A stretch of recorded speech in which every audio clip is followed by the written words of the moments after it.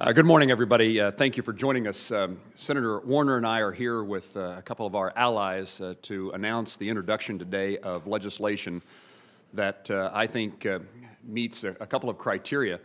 When you think about the most important task that, in my view, Washington, D.C., Congress, and the President have to resolve, it's job creation, growing the economy.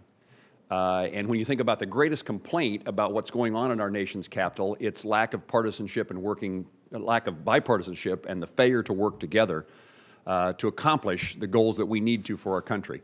Uh, and we very much believe that what we're presenting today uh, addresses the issue of job creation uh, in a very uh, substantive and significant way, uh, and that we're doing it in a way that should lend itself to, to no real opportunities for Republicans and Democrats, White House and Congress to be in opposition to the details of our legislation. Uh, we, Mark says we hope. Uh, we think we're there. And certainly our, our goal was to do something that mattered, uh, something that uh, provided, uh, made a difference, uh, but did so without creating kind of the political enmity that seems to arrive so often in the work that we try to accomplish in our nation's capital. Um, I certainly want to acknowledge Senator Warner and his role. We have developed a, a an awfully good working relationship, and I'm honored that someone of Senator Warner's background, experience, and caliber has, uh, has joined us in this legislation. Uh, uh especially also pleased to have uh, Steve Case, the co-founder of AOL, with us, uh, one of the leaders uh, on the President Obama's Council on Jobs and Competitiveness. and also Brink Lindsey is here. Brink is with the Kauffman Foundation, headquartered in Kansas City, Missouri. And the, what, what initiated this legislation in in, in, in my world uh, was a report by the Kauffman Foundation uh, demonstrating by absolute uh, scientific based research the value of entrepreneurship and job creation in the history of our country and what has transpired in recent years. And more importantly, this, uh, this uh, thoughtful uh, foundation has provided a path, suggestions of what policies could be, could be brought forth that would create an entrepreneurial environment in our country today. And so we're very grateful to the uh, Ewing Marion Kauffman Foundation in Kansas City for providing the, the substance, the, the, the, the real um, uh, support uh, that demonstrates the value of what we're uh, attempting to accomplish with this legislation.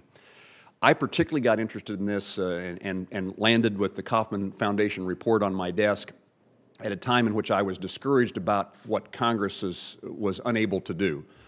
Um, I'm certainly one who believes that the deficits matter, uh, that we've got to get our financial house in order. Senator Warner has taken a lead in those efforts. Uh, and the discouragement came from kind of everything that I'd seen uh, happen uh, in Congress really was it's not happening. And so I started thinking, how is a, how's a different way, uh, perhaps a, a, a, better way, a more politically possible way of addressing the issue of our, of our budget challenges, the deficits and, and deficits. Another way that we can help pay down the debt and get our country's financial house back in order is to have a growing economy, put people to work. People who are working are paying taxes. The, the tr tremendous benefit that comes from that plan is that people who are working and earning an income, therefore providing for their families, putting food on their families' tables, saving for their kids' education, saving for their own retirements. Uh, and so the, I decided to focus my efforts on trying to grow the economy not forgetting the efforts at trying to hold the line on spending and addressing the deficit issues, but to do it in a way that certainly a much more positive message to Kansans and to Americans is there's, a, there's something we can do here that um, does awfully good things for Americans across the country and at the same time a growing economy helps us get out of the financial condition that we're in uh, as a nation, as a country. So the Startup Act is the, is the result of that. Uh, it basically focuses on uh, five areas uh, of, of ways that we can help uh, uh, those with entrepreneurial skills and talents to succeed in the United States and in the process of succeeding, putting people to work. Uh, as you would expect, it has a regulatory component. The regulatory environment, and particularly an uncertain regulatory environment, is a significant handicap. Uh, we do not expect to address in the Startup Act every piece of, uh, of legislation that can be introduced or will be introduced in regard to regulation. Uh, this is a very broad topic that uh, our colleagues in Congress uh, will and are addressing, but we do know that the regulatory environment is one that handicaps uh, entrepreneurs and job creation. Uh, we know, and this bill addresses the second component being uh, attract uh, and retain capital. That's a very difficult challenge for many startup businesses, and this legislation addresses that issue as well. Um, uh, uh, those are broad topics that many members of Congress are dealing with. Uh, some of the things that are unique to me about the Startup Act uh, is we're working to uh, encourage the commercialization of federal research.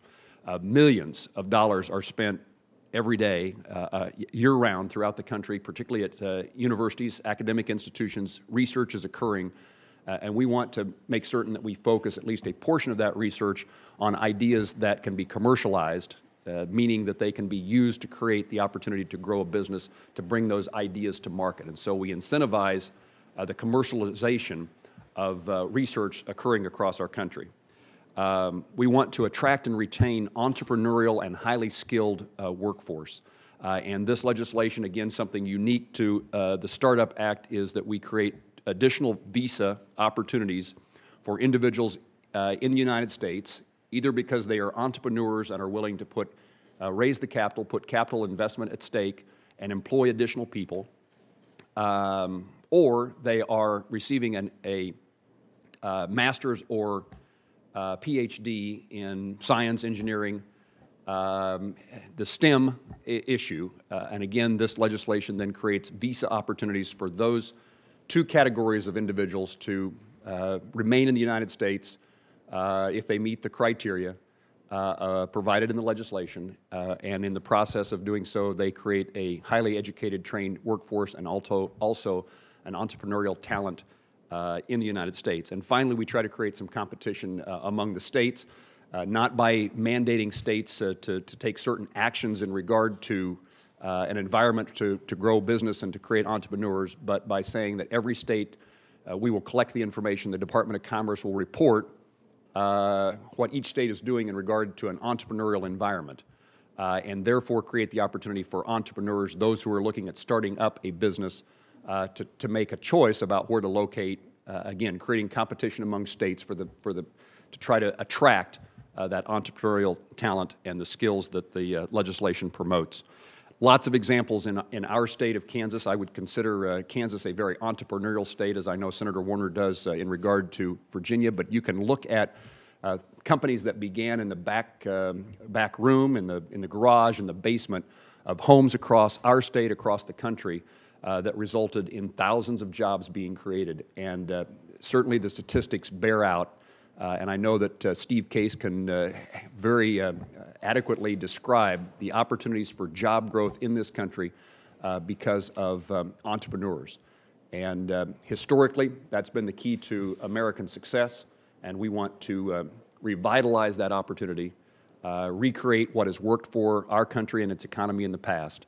And we believe the Startup Act is one more component along a series of pieces of legislation that have been introduced in the last few months that move um, Congress in a bipartisan way uh, in, a, in a legislation that can be supported broadly uh, to a better day uh, for America and its people and their ability to put food on their family's table, to grow and to pursue success in the process of pursuing that success, once again, live the American dream. Let me um, uh, turn the, the, podium over to uh, my colleague and friend from Virginia, Senator Warner. Well, thank you, Jerry. Thank you, Senator Moran. Let me thank you for um, this partnership. I think uh, this is one more example of evidence that there are actually people on the Hill that can work together uh, to put the country's interests first. Um, I won't reiterate everything Senator Moran said. I just want to make a, hit a couple of high points. One, we always talk up here about the fact that we want us to support small businesses. Small businesses create two-thirds of the, the jobs in our country. If you dig down into that, and I think Steve will probably mention this, that's mostly true, but most of the small businesses that are actually creating the jobs are what we call in the industry the gazelle firms, those startup firms that grow very rapidly. And echoing what Senator Moran said, we need to find ways that we can uh, boost that effort. And as somebody who spent, uh, actually, I can still claim more time on the private sector side actually doing this as an early stage investor uh, uh, entrepreneur and venture capitalist, uh, 20 years in that business, only still single digits in the elected office business, uh, which these days I guess is important to point out. Um, uh, you know, I think this piece of legislation uh, is a giant step forward. Um, and it does, and as, as, Senator Moran mentioned, it builds on some other legislation that, and I think Steve will mention this as well, uh, that builds upon the good work the Kauffman Foundation has done, and Steve Case, who's on the President's Jobs Council, has done. You know, issues around how we can get startup companies going public on a faster way, uh, changes to Sarbanes-Oxley, uh, Section 404, that uh, uh, increasing the number of investors that can uh, go into startup companies. Uh, key points.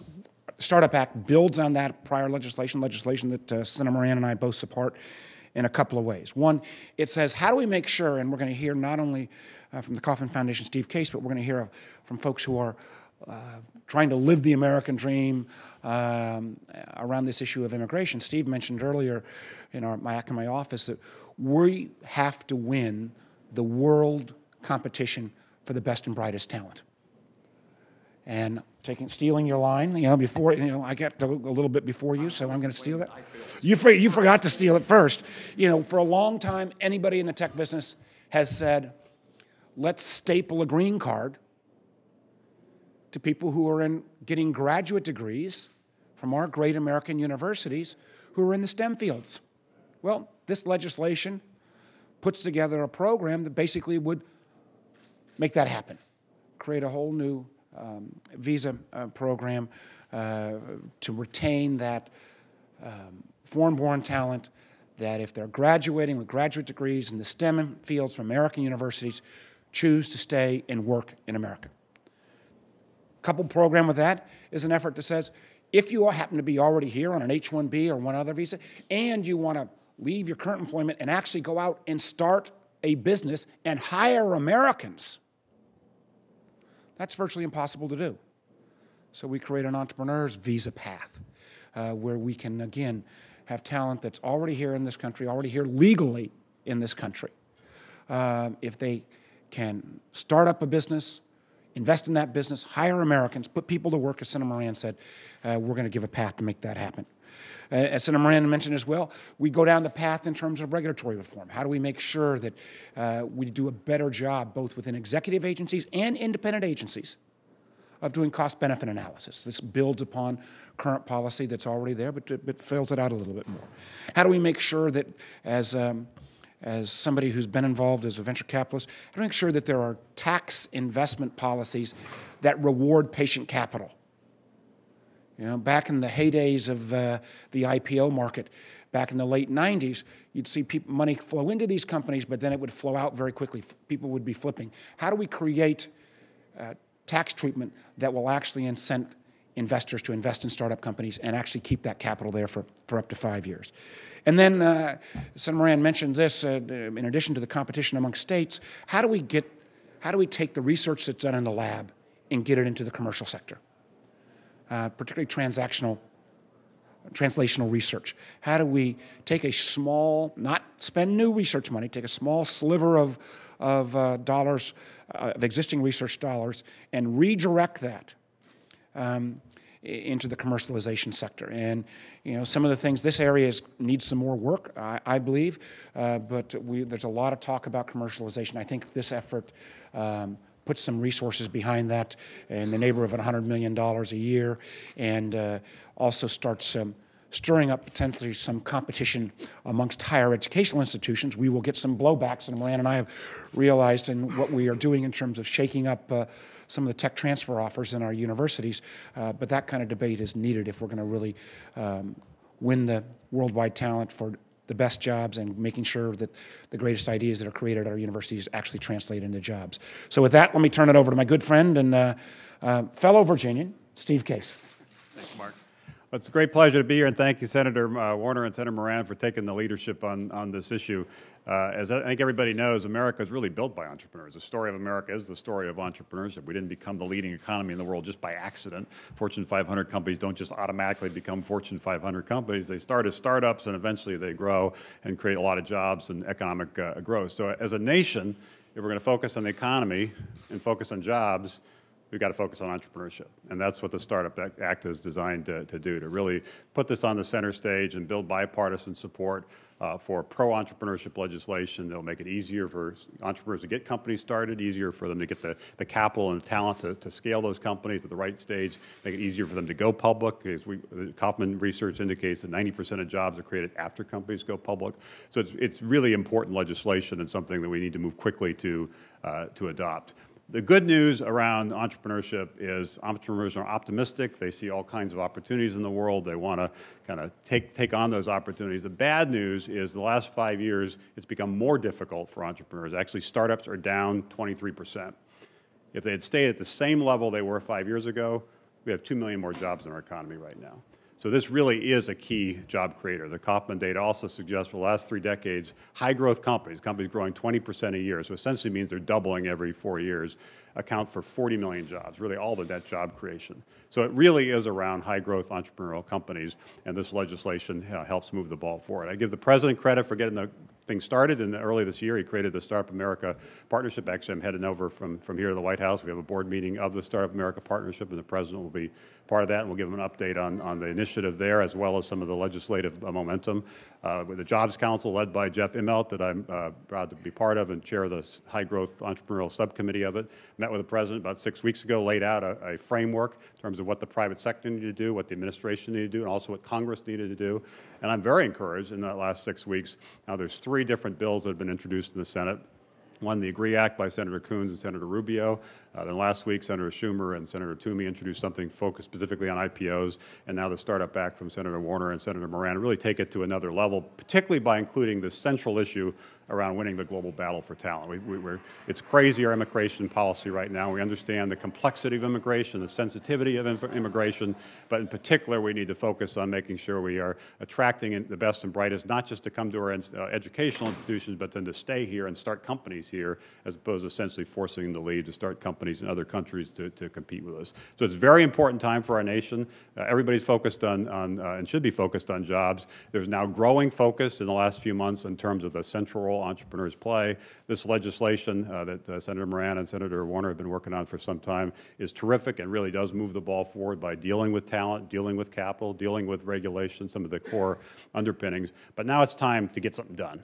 And it's really time for entrepreneurs all around the nation to, to, to, kind of march on Washington and say it's time for the Congress to act. It's time to build bipartisan support. It's time to put entrepreneurs at the front of the agenda because they are the job creators. They are the innovators. They are the folks that are going to help us win uh, the next generation of, of battles in terms of new industries uh, around, the, uh, around the world. So I'm very grateful that they've taken the leadership on this issue. It's now time for others in the Senate and then others in the, in the House to join together. I've had a lot of meetings, a lot of people in the Senate and the House, and Republicans and Democrats for the last couple of months.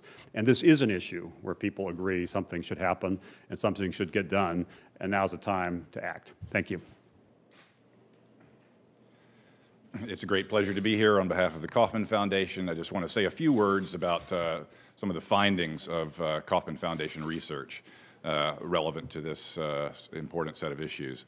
Uh, research conducted or supported by the Kauffman Foundation over the past decade has done a great deal to clarify the absolutely central importance of entrepreneurship and new firm formation uh, to the health of the U.S. economy, not only in terms of creating jobs and promoting short-term prosperity, but also in terms of spurring innovation uh, and long-term growth. Uh, when it comes to uh, job creation, uh, the numbers are absolutely unambiguous.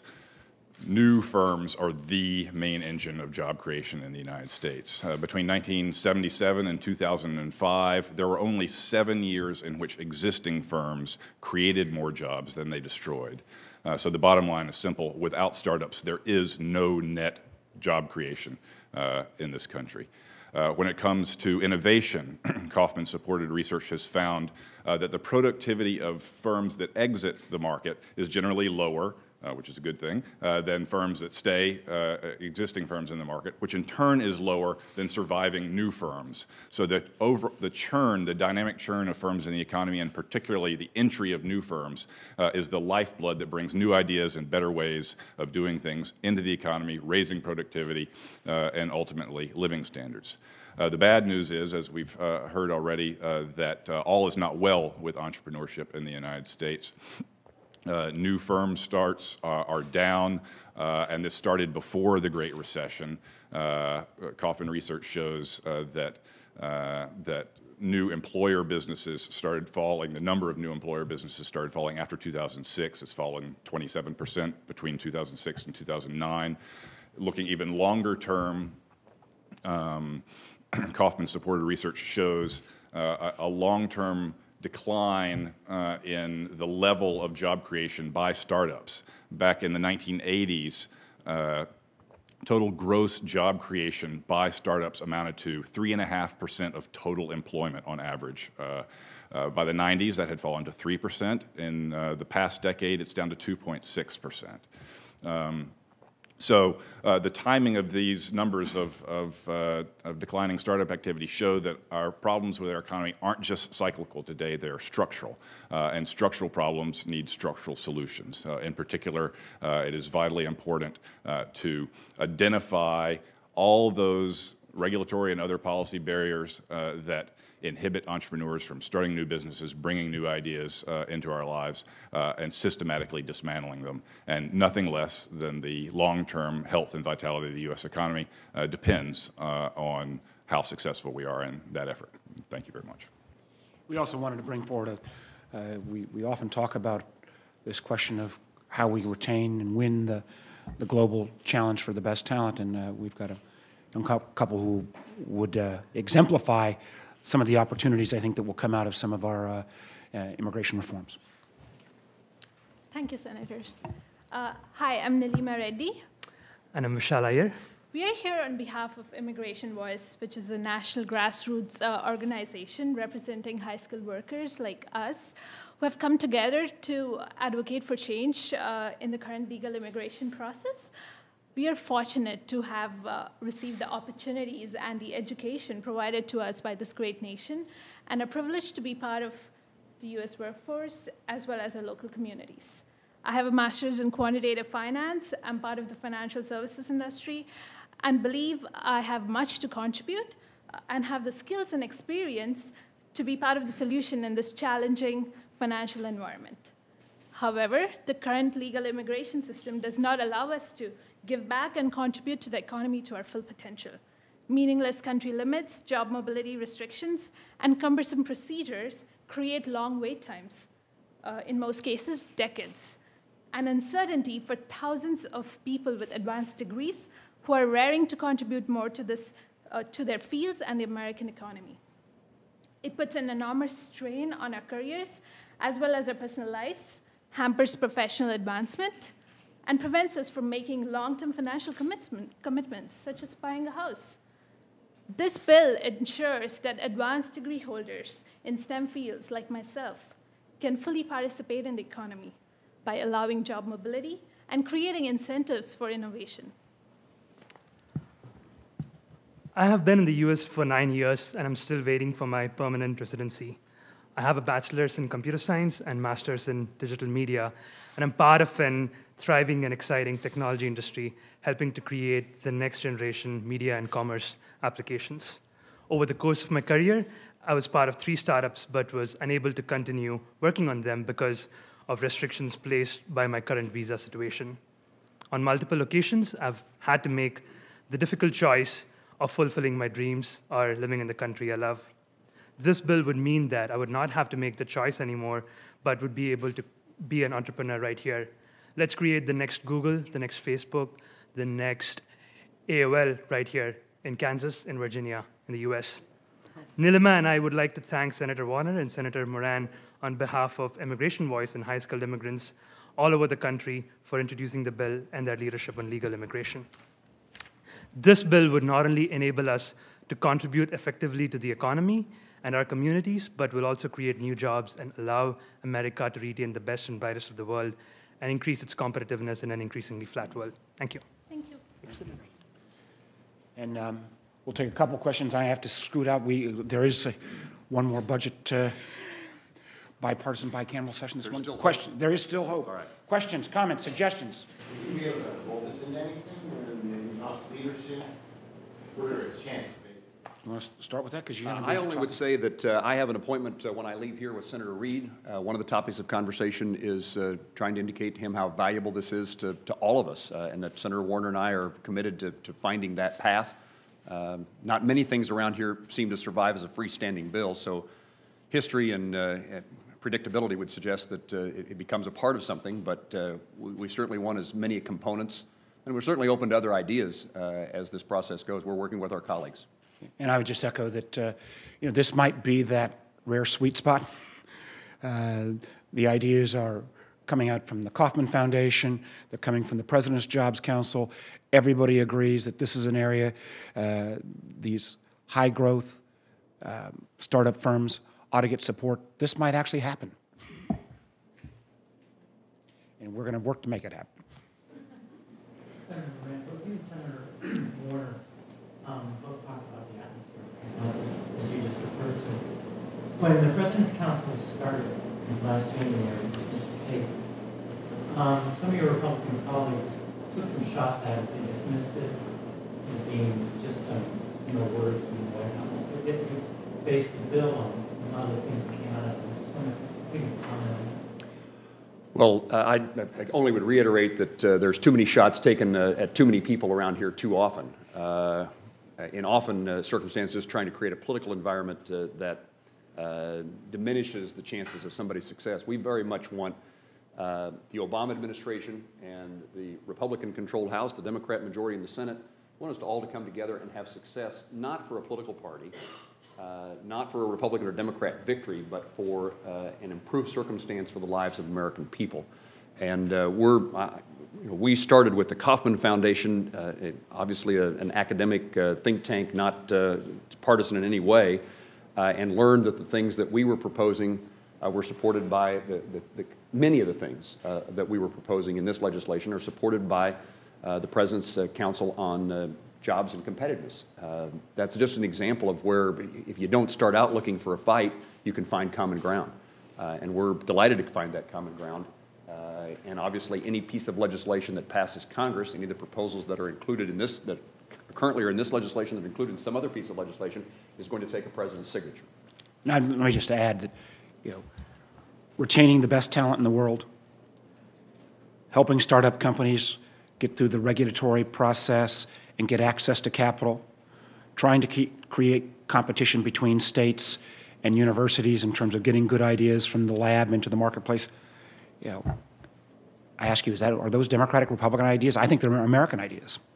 I could, if I just add the, uh, obviously, anytime there's a new thing like a council introduced, there's going to be some skepticism even among the participants about what's really going to happen here. And I think my, from my perspective, I think my colleagues on the Jobs Council, we weren't particularly interested in spending a lot of time writing nice white papers that sit on the shelf. We think the nation is at a crossroads and, and getting the right uh, policy in place to support business generally, but particularly entrepreneurship in particular, is critically important. I don't think we have a plan B as a nation. This, as I said at the beginning, this nation was built by entrepreneurs that drives innovation, that drives job growth, that drives our economy, that ensures our global competitiveness, and we really need to double down on, on entrepreneurship. So the Jobs Council made some recommendations. There are a lot of other recommendations from Kauffman Foundation uh, and other groups, and I think Senator uh, Warner and Senator Moran took, I think, the best of those ideas to create the, uh, the Startup Act. And I think it's very important that people focus on this and, and, and, and get it done. We, as I said, the nation doesn't have a plan B.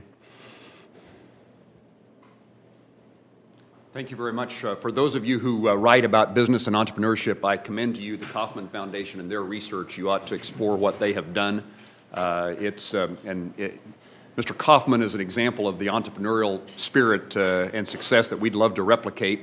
Uh, Started a drug company in his garage and ultimately came, became, in a Kansas City world, he was the owner of the Royals, which became his greatest fame to us, but created many jobs in the process of of, uh, of starting a drug company. And we very much appreciate their role in, in exploring, educating us, uh, and providing us with, uh, with basic information that's necessary to, to determine good policy. So thank you very much.